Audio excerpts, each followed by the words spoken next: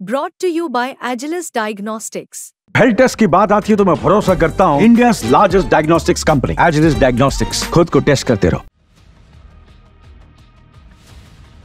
Israel और Hamas के बीच जंग साल भर से ज़्यादा समय से जारी है। इस जंग में दोनों ओर से जमकर नुकसान हुआ है।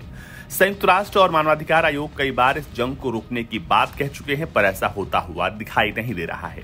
ऐसे कई मौके आए जब सीज फायर को लेकर बैठकें हुई, लेकिन बात नहीं बनी। लेकिन अब ऐसा लग रहा है कि सीज फायर की दिशा में कामयाबी मिल सकती है।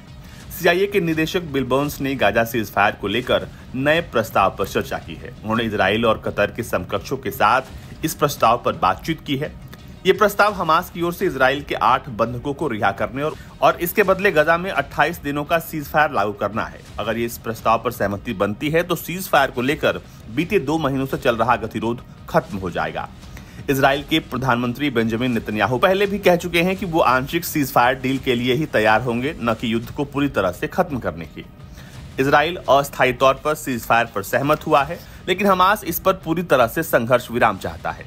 एक इजरायली अधिकारी ने बताया कि अगर दोनों पक्ष इसी तरह से अपने रुख पर अड़े रहे तो यह डील नहीं हो सकती है।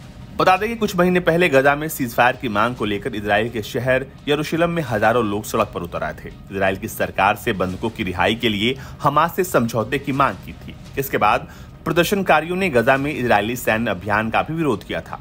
बंधक बनाए गए लोगों के परिजनों को डर है कि यदि इसराइल गजा में सैन्य अभियान जारी रखता है तो युद्ध लंबा ऐसी स्थिति में और ज़्यादा बंधक मारे जाएँगे। लेकिन अब इस पूरे सीज फायर में अमेरिका एक बड़ा रोल निभा रहा है।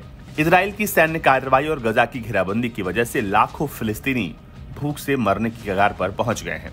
ऐसे में अमेरिका और यूएई सहित कई अंतर्राष्ट्रीय एजेंसियाँ आसमान के ज़रिए लगातार गजा में फ़ूड पैकेट गिरा रही हैं। बीते दिनों अमेरिकी विमानों ने खान यूनिस और रफा में फ़ूड पैकेट गिराए लेकिन अभी स्थिति बेहद खराब है। ब्यूरो रिपोर्ट भारत तक।